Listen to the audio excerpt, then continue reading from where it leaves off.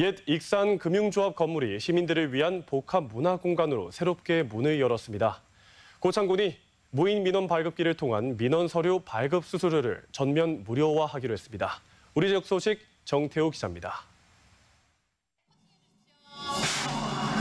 익산시는 1925년에 지어진 옛 익산 금융조합을 상설 전시관과 기획 전시실, 휴식 공간을 갖춘 복합 문화공간, 솜리 문화금고로 조성했습니다.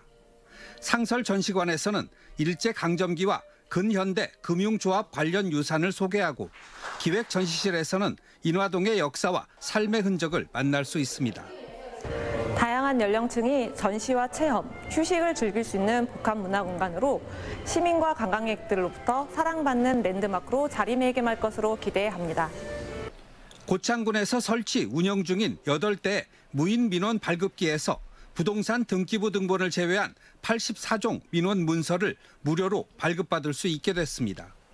이는 정부 24의 인터넷 발급 서비스를 이용하면 무료로 발급받을 수 있다는 점에서 착안한 조치로 주민등록 등초본, 가족관계 등록부를 포함한 26종이 다음 달 1일부터 수수료가 면제됩니다. 순창군이 다음 달 20일까지 도민체전과 장애인체전에서 활동할 자원봉사자 400명을 모집합니다.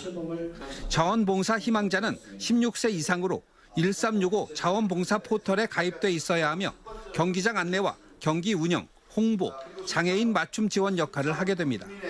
제61회 도민체전은 9월 6일부터 8일까지, 제18회 장애인체전은 9월 27일부터 29일까지 순창 공설운동장 등지에서 개최될 예정입니다.